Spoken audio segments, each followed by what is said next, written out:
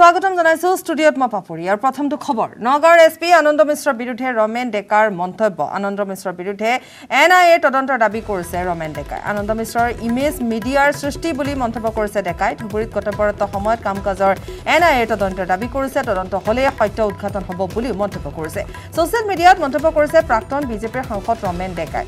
Social media যোগে এই মন্তব্য কৰিছে আৰু তাত জনোৱা হৈছে যে যি আনন্দ মিশ্ৰ যিগৰাকী বৰ্তমান নগাঁৱৰ এছ পি আৰু পূৰ্বে তেওঁ ধুবুৰীৰ আছিল গতিকে সেই যি ইমেজ সেই ইমেজ মিডিয়াই সৃষ্টি কৰিছিল। কিন্তু যদিহে এন আই এৰ তদন্ত ঘোষণা কৰা হয় তেওঁৰ বিৰুদ্ধে বহুখিনি হয়তো তথ্য উদঘাটন হ'ব। সত্য উদঘাটন হ'ব সেই বুলি ৰমেন ডেকাই এক টুইট কৰা দেখিবলৈ পোৱা গৈছে। ছ'চিয়েল মিডিয়াত সৰব হৈ পৰা দেখিবলৈ পোৱা গৈছে।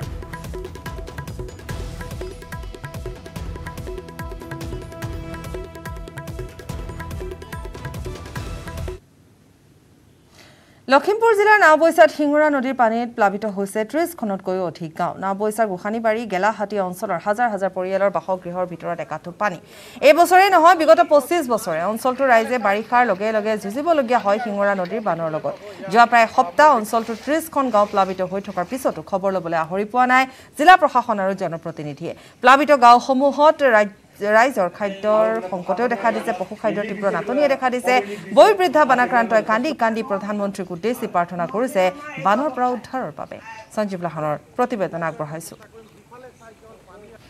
লখিমপুৰ জিলাৰ বিভিন্ন প্ৰান্তৰ পৰা আমি বানৰ বাতৰি দি থাকিবলৈ যত্ন কৰিছোঁ আৰু আজি আহি মই উপস্থিত হৈছোহি লখিমপুৰ জিলাৰ নাওবৈচা সমষ্টিৰ অন্তৰ্গত এটা বিশেষ অঞ্চলত।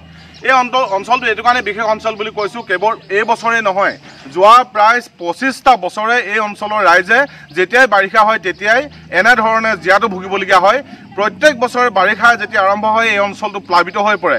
এদিন দুদিনৰ কাৰণে নহয় প্ৰায় ছমাহৰ কাৰণে এই অঞ্চলটো তেতিয়া এনেদৰে বুৰ গৈ থাকিব। মোৰ সহযোগীক ইয়াত পানী মই এঘৰ এটা পৰিয়ালৰ চোতালত উপস্থিত আছোঁ আৰু সেই পৰিয়ালটোৰ মই পানীৰ পৰিমাণ দেখুৱাবলৈ যত্ন কৰিবলৈ গৈছোঁ যে একাঠো পানীৰ চোতালত আৰু ভিতৰতো ইতিমধ্যে পানী। মই দেখুৱাবলৈ যত্ন কৰিম আৰু পৰিয়ালটোৰ লগত মই কথা পতাৰ যত্ন কৰিম। কেনেদৰে এই অঞ্চলবিলাকত বা এনেদৰে এই পৰিৱেশত এই সকলো কেনেদৰে কেনেকৈ থাকে সেয়া তাৰ উমান ল'বলৈ যত্ন কৰিম বা আমি প্ৰত্যেক বছৰে যত্ন কৰোঁ। পুনৰ আমি উল্লেখ কৰিবই লাগিব যিহেতু বাৰিষা আহিলে আমি লখিমপুৰ জিলাৰ নাওবৈচা সমষ্টিৰ অন্তৰ্গত গেলাহাটী গোসানীবাৰী এই অঞ্চলটোলৈ আমি কেৱল বানৰ বাতৰি কৰিবলগীয়া আহিবলগীয়া হয় বা এনেদৰে যিসকল দুৰ্গত লোক আছে তেওঁলোকৰ মনৰ কথা আমি দৃষ্টি আকৰ্ষণ কৰিবলৈ যত্ন কৰোঁ প্ৰত্যেক বছৰে। প্ৰত্যেক বছৰে আমি আমাৰ কাম কৰি আছোঁ কিন্তু যিসকল নেতা আছে যিসকল ৰাজনৈতিক নেতা আছে যিসকল চৰকাৰী বিষয়ববীয়া আছে তেওঁলোকে কিন্তু একো নকৰে। মই তলৰ অংশ দেখুৱাবলৈ অনুৰোধ কৰিছোঁ মোৰ সহযোগীক চাওক ঘৰৰ ভিতৰত একাঠো পানী। ঘৰৰ ভিতৰত একাঠো পানী। এই অৱস্থাত এইসকল লোক কেনেকৈ আছে সেয়া হয়তো আমি এতিয়া যদি প্ৰশ্ন সোধোঁ হয়তো বঢ়াই কোৱা হ'ব। যিহেতু হয়তো দৃশ্যসমূহ দেখিয়ে গম পাইছে দৰ্শকসকলে এই পৰিৱেশটো কেনেকৈ আছে লোক। আইতা আপোনাৰ চাগে বয়স যথেষ্ট হৈছে আমি দেখিয়ে গম পাইছোঁ। কেনেকৈ আছে এইকেইদিন?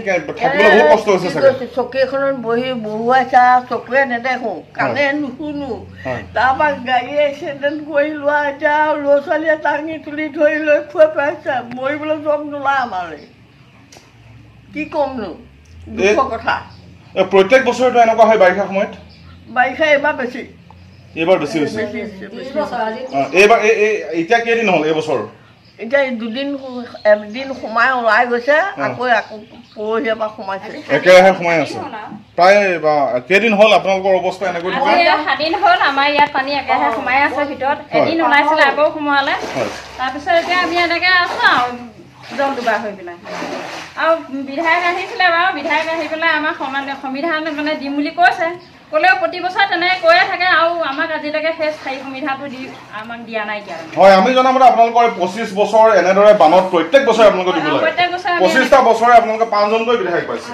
প্ৰত্যেকজন বিধায়কে প্ৰত্যেক বছৰে আহে প্ৰত্যেকবাৰে প্ৰতিশ্ৰুতি দিয়ে। কিন্তু আপোনালোকৰ সমস্যা সমস্যা হৈ থাকে। সমস্যা হৈয়ে থাকে। আমাৰ কোনোদিনে সমস্যাটো সমাধান কৰিবলৈ তেওঁলোকে যত্ন কৰা নাইকিয়া নাও চলাই পৰিয়াল পোহপাল দিছে তেৰ বছৰীয়া এগৰাকী কিশোৰীয়ে। পিতৃৰ অসুস্থতাৰ বাবে পঢ়া শুনা বাদ দি নাও চলাই ঘৰ চলাবলৈ বাধ্য হৈছে তেৰ বছৰীয়া কিশোৰীগৰাকী গান্ধাইমুখ আৰু হালঘাট ঘাটত পাৰ্বিন বেগম নামৰ এইগৰাকী কিশোৰীয়ে নিতৌ পুৱা ছয় বজাৰ পৰা নাও চলাবলৈ আৰম্ভ কৰে। যাত্ৰীক নৈ পাৰ কৰাৰ বাবদ পাঁচ টকাকৈ লয় পাৰ্বিনে। পাৰ্বিনৰ পিতৃ কুটুবালিৰ অসুস্থতাৰ পিছতে পৰিয়ালটোলৈ দুৰ্যোগ নামি আহিছে। আমি দেখুৱাইছোঁ এগৰাকী কিশোৰী আৰু এনেধৰণে পৰিয়ালটি পোহপাল দিবৰ বাবে তেওঁ নাও চলাইছে। যাত্ৰীসকলক নাৱেৰে তেওঁ পাৰ কৰাইছে। তেৰ বছৰীয়া মাথো এইগৰাকী কিশোৰী পিতৃৰ অসুস্থতাৰ বাবে পঢ়া শুনা সকলো বাদ দি নাও চলাই পেট পৰ্বতাবলগীয়া হৈছে এইগৰাকী কিশোৰী।